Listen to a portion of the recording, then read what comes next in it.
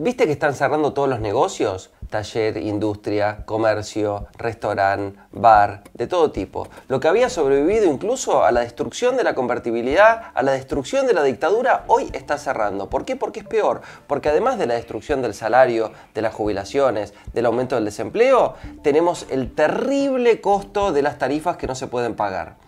Por ejemplo, el hispano, Salta y Rivadavia, un restaurante que yo iba desde que era chico, sobrevivió a la destrucción de la dictadura, a la destrucción de la convertibilidad y no sobrevivió al gobierno de Macri.